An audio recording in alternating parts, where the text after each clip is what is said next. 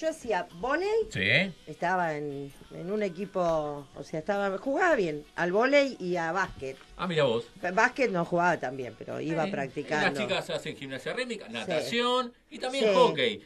Ah, pero hockey era para otra clase social, Eh, pero, ferro. Pero tenemos, ¿sabes quién te tengo en línea? Eran las chetas. ¿A quién me trajo? Tengo al asistente, integrante del cuerpo técnico de nuestras leonas. ¡No! Al señor Mario Almada. Fue jugador de nuestro seleccionado de hockey ahí sobre césped por los, jugó los mundiales 2002, 2006, 2010. Atleta olímpico, dos horas. Dos horas, panamericano, una de plata. Está sumado ahora al cuerpo técnico de las leonas. Buenas noches, Marito. ¿Estás ahí en línea? ¡Qué placer! Estoy acá, hola, ¿cómo estás? Buenas noches a todos. Buenas noches. Buenas noches. Contanos un poquito, Mario, cómo están las leonas, novedades, noticias de este gran grupo, de este gran equipo argentino.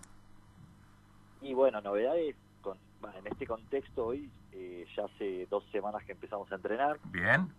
eh, nada, con todos los protocolos que, que nos que nos exige el contexto este, y bueno, en realidad contentos porque bueno, por lo menos podemos hacer algo. Estuvieron mucho tiempo paradas y eso para un deportista de alto rendimiento es nada, es jodido, se hace, se hace difícil, pero la verdad que la vuelta fue positiva porque bueno, se mantuvieron muy bien, eh, son profesionales y bueno, se notó porque empezamos a entrenar y la verdad que, que se encontraban muy bien físicamente y, y tanto como tanto en hockey como, como en la parte física, ¿no? ¿Ninguna de las chicas este, tuvo algún episodio de COVID? No, por suerte no, no, no, ninguna. Bien. Ninguna y, y bueno, nosotros eh, estamos entrenando en el CENAR, Ahí está. donde solo entrenan leones, leonas, y bueno, y los jaguares, los, que es el equipo de rugby. Y bueno, entrenamos en diferentes horarios como para no cruzarnos. Y, y bueno, y la verdad que, que bueno, eh, así estamos hoy. ¿Cómo, qué, qué- qué- qué tenían previsto para este año calendario y qué es lo que va, cómo, cómo lo van a llevar? ¿Se van a jugar algún partido? ¿Cómo, cómo viene Y la... por ahora, por ahora partido no. Sí, Eh, nosotros en este momento estaríamos en Tokio claro. eh, jugando los Juegos Olímpicos. Claro, Que, se sí. dieron, como todos saben, y, y se pasó para la, para la misma fecha el 21, del 2021. Así que bueno, eh, estamos a un año y, y la preparación para un Juego Olímpico, eh, nada, es larga y bueno, pensando en eso, y bueno, y en abril del 21 comenzaría la Pro League, que es un torneo como una liga mundial, que, que, bueno, juegan 10 países y. Argentina la juega, ¿no? ¿Y en esta situación van a llegar con, eh, con el entrenamiento o van a llegar bien? Yo creo que sí, porque, bueno, ahora a nosotros nos están permitiendo entrenar y la idea, la idea es quizás ir a un lugar o a una provincia donde no haya donde no haya o haya menos peligro de, co- de- de contagio y bueno, y ahí poder entrenar eh, nada más específico y mucho más horas, ¿no? La idea Claro. nuestra es entrenar 30 horas semanales, más o menos, y acá en Buenos Aires hoy podemos entrenar 10, 12 horas, ¿no? ¿Qué pasa por la cabeza del jugador eh, teniendo en cuenta todo este estrés que, que extra, ¿no? Eh, ¿Se corre más riesgo de lesiones? ¿Cómo ves eso, Mario? Y a ver, para un sí, para un atleta eh, de alto rendimiento se hace difícil el no entrenar, el no poder salir a, eh, a correr o si bien se entrenan en su casa y demás no es lo mismo, Tal el cuerpo te pide, te pide que te entrenes, pero bueno, eh, nada, la verdad que lo llevaron muy bien y ahora estamos entrenando a fondo.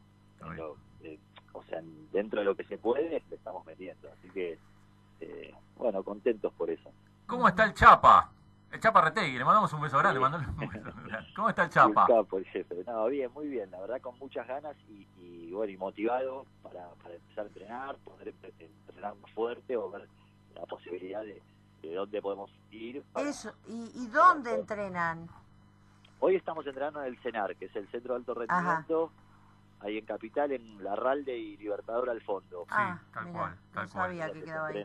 Sí, es el centro de, Argen- de Argentina, ¿no? Donde todos los equipos argentinos se entrenan. ¿Cómo, cómo ves, eh, cómo ves eh, qué interés para vos están presentando los chicos por el deporte hoy? Ese, Ajá.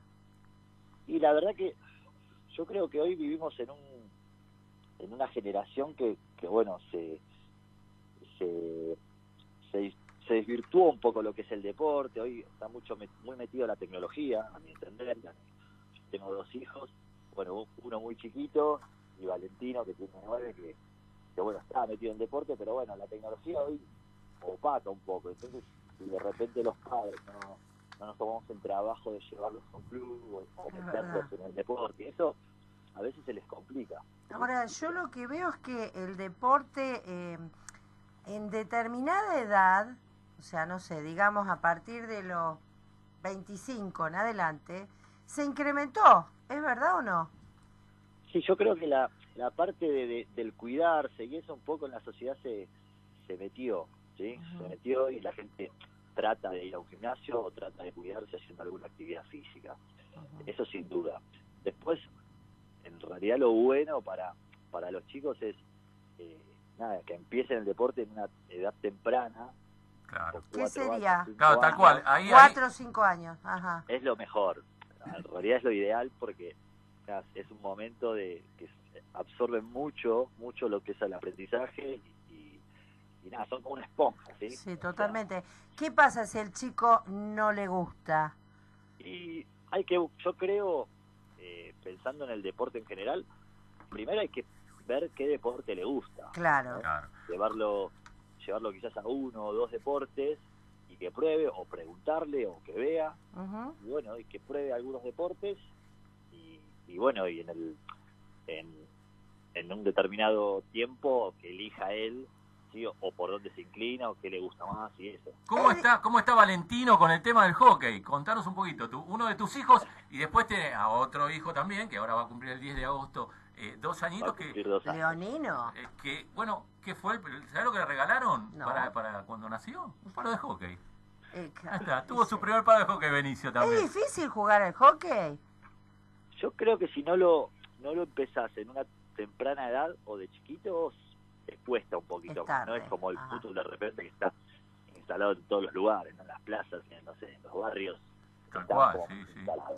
pero Yo te digo que como le que- decía Ferro, en mi época las chicas chetas jugaban a hockey y en las escuelas top. Claro, y sí, generalmente salen de escuelas privadas, Exacto, sí. donde hay los hombres juegan rugby y las chicas hockey. Tal cual. está. Como que se instaló un poquito por ese lado. Pero hoy Ah, sí.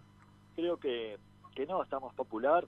Eh, los gastos que uno tiene para que empiece a jugar eh, no son más ni menos que el fútbol o cualquier otro deporte. Ah, qué Tal buen cual, dato. Tal cual. sí, qué sí, totalmente. Quizás está, hay una idea como como puesta en el hockey como que es un deporte caro y, y no es tan así. ¿eh? Sí, No sí, tan. Mira, yo pensaba eso. Tal cual. Bueno, Bueno. Marito, muchas gracias por la diferencia que tuviste. Saludos a todo el cuerpo técnico, al Chapa Retegui, a todas las leonas. Y bueno, muchas, ¡Qué muchas gracias. ¿eh? placer! Un genio Mario Almada. ¿eh? Bueno, no, muchas gracias a ustedes y bueno, suerte con la radio y los felicito porque la verdad que es muy linda, ¿no? Bueno, Muchas gracias. gracias Marito.